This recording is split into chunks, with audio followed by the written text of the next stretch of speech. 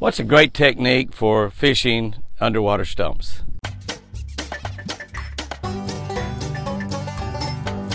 Whoa! That's a beauty. Good morning, guys and girls. April 9, April 9th already. A little bit of a windy day, Proverbs 29 11. Foolish people lose their tempers. well, you know what category you're in if you lose your temper. Foolish people lose their tempers, but wise people control theirs. Wise people control their tempers. Submerged stumps are pretty much always a great place to find a bass.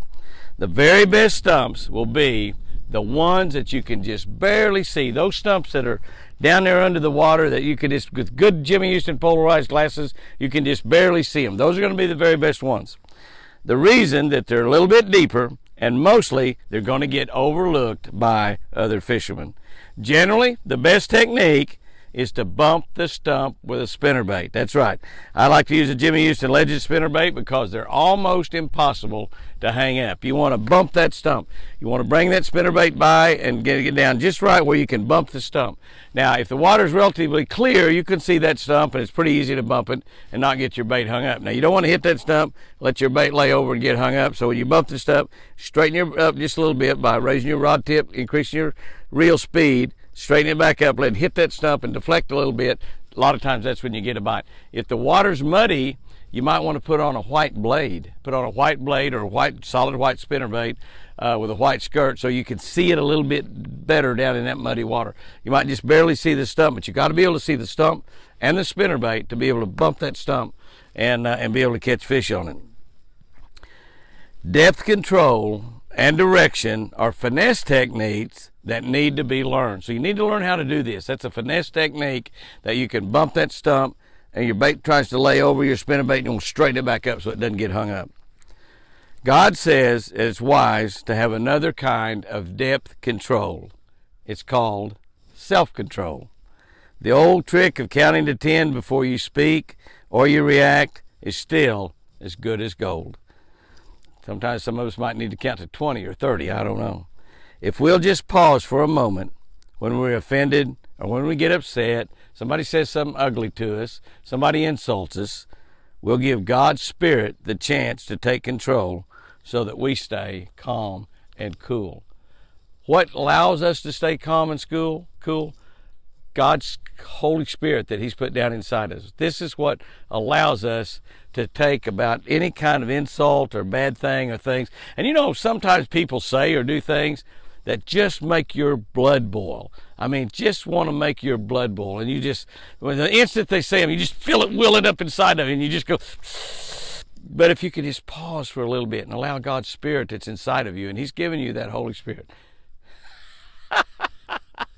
My camera person, who is also the lady I'm married to, I will not give her the credentials of calling out her name right now.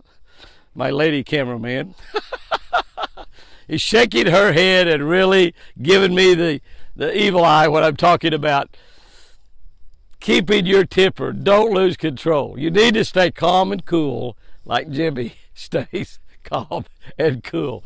That's exactly right. Jimmy has to count way past 20. I promise you that sometimes. Sometimes she does and says things that just drives me crazy. but I am so calm and cool. I count to 10. I let God's Holy Spirit take control. I've totally lost control of this morning's devotion.